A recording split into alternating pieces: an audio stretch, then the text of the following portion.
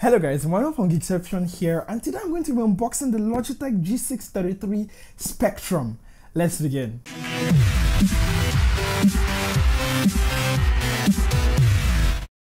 And welcome back guys. Now before I start this wonderful video, there are three things I want to tell you guys. Now the first one is the fact that Geekception has an official Instagram account. So you guys definitely go there, go follow us there. Geekception, uh, instagram.com forward slash Geekception.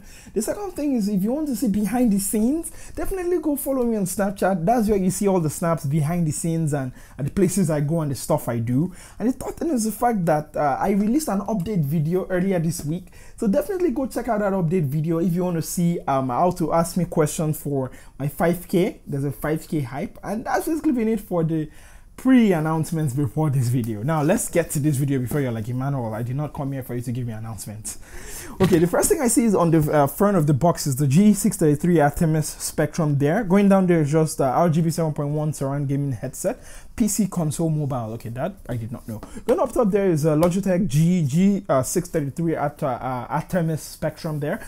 Going on to the right side, same thing. Oh, it's got 40 millimeter drivers. Good to know. And microphone. Going on to the back there is just uh, Logitech G633 Artemis Spectrum. I think I said like like four times already. Uh, going uh, down there is G633 fold away noise cancelling mic, uh, simultaneously game answer calls, blah blah blah blah. I'm not going to read that anymore. And since I don't need this box anymore, whoop, there you go. Now the first thing I actually see in the box is the uh, headset itself. I'm just going to remove it there. I'm removing it there I see another compartment which contains the cables I'm also going to remove that and looking into this box here there's just the um, Logitech support and how to switch between well I don't need this anymore also so whoop, there you go so looking at the cables itself the first cable is actually the 3.5 millimeter headphone jack uh, cable and the microphone there i'm going to put that there and the usb cable because this can also be used via usb to your computer I'm also going to put that there.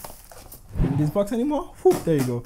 Now, getting to the meat of this discussion is the headphones itself, and they feel, well, they feel very plasticky, I would say, and it does not look like there's a bit of, there's actually customization when it comes to like the headband itself. So i'm actually scared this might break i don't know. So taking it around the uh, headset on the left uh, ear cup i believe is just the g buttons there the volume up and volume down buttons. Going down there is just a 3.5 millimeter headphone jack and the uh, micro USB connection uh, port there and uh, pressing the ear cups there they're mostly uh, nylon or plastic. I'm not really sure. Nylon, I'd say. It's not leather, definitely. So this, I'm actually worried about how it's going to be when I wear it for a long period of time. I, I guess when I do my review, you guys will definitely know that one. So put it on my head. It actually blocks uh, some noise, so I can actually feel that you know something covers my head.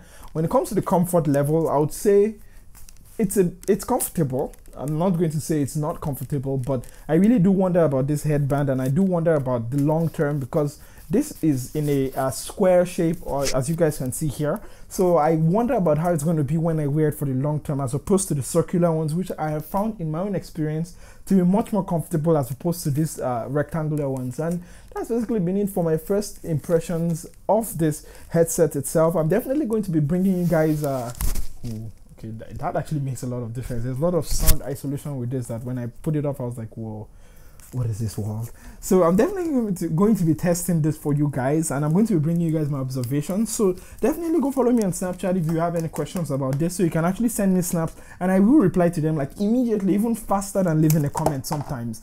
And also you can also leave a comment if you have any questions about them. But that's basically been it for this uh, short i hope unboxed of the uh, Logitech G633 Artemis Spectrum. Now, if you guys have any questions, definitely leave me comments down there below. I love to answer your comments, though sometimes I've been really slow because I've been taking a break and all that. And if you like this video, give it a big fat thumbs up. It tells me that, oh my God, Emmanuel, I like this. And if you do not like this, well, no problem. Give a thumbs down and let me know in the comment section why you do not like this. And maybe, just maybe, I can turn that thumbs down to a thumbs up. Anyways, that has been it for this video, guys. And if you're not subscribed already, well, do subscribe so you do not miss future amazing, wonderful videos. 5k hype. We're getting to 5k subscribers soon, guys. We're getting to 5k subscribers. And also, and also, don't forget to remain awesome. And I really, really love you guys. Bye.